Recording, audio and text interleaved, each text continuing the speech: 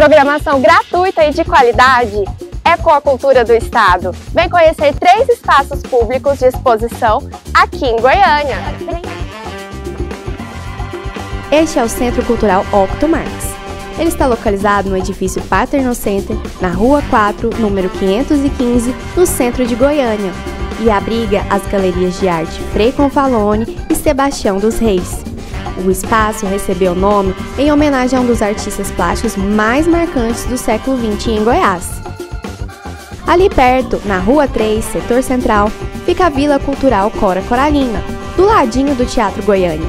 O espaço abriga a sala de exposições principal, sala multimídia João Benho, sala Antônio Poteiro, sala Sebastião Barbosa, hall, varanda e a Praça Belquis Espécie.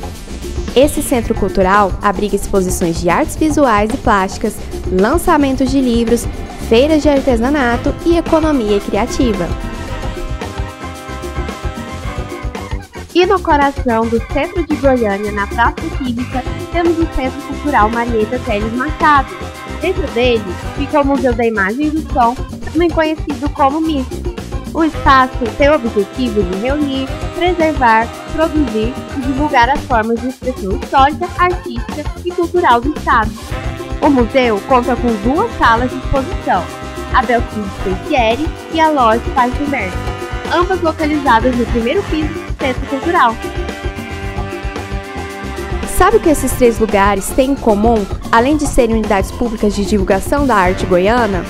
A entrada é gratuita e praticamente todo mês você pode conferir uma exposição nova. Bora lá conhecer?